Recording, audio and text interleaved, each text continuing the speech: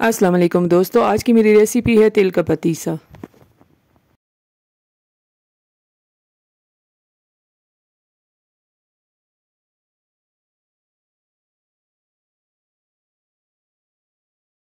इसके लिए हम एक पैन में एक कप चीनी ले लेंगे।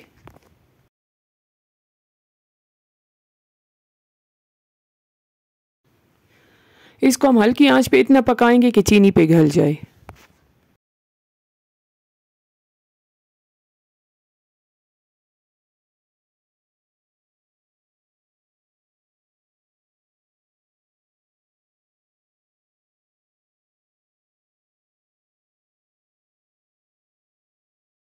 चम्मच इसमें मुसलसल चलाते रहना है ताकि चीनी जल ना जाए।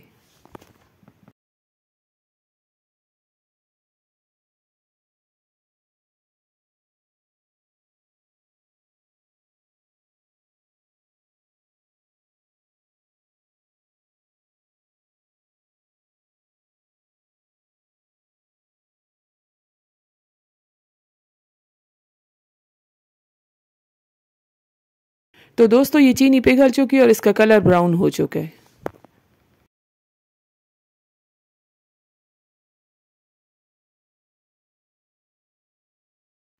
अब इसमें हम एक कप सफ़ेद तेल डाल देंगे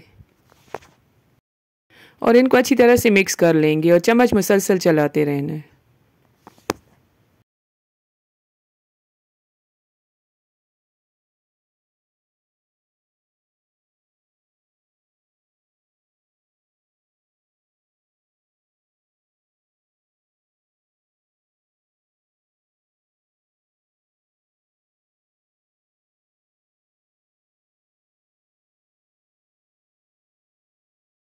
तो दोस्तों, ये चीनी और तेल अच्छी तरह से मिक्स हो गए हैं और ये पक चुके हैं। अब इसके नीचे हम फ्लेम को ऑफ़ कर देंगे।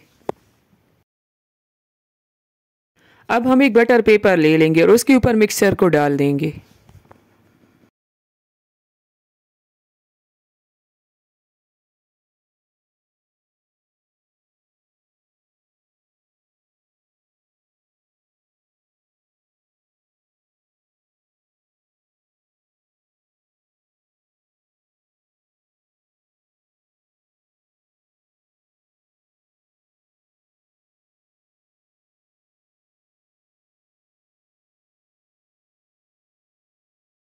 इसके ऊपर हम एक और बटर पेपर रख देंगे और इसको बेलन की मदद से फैला देंगे।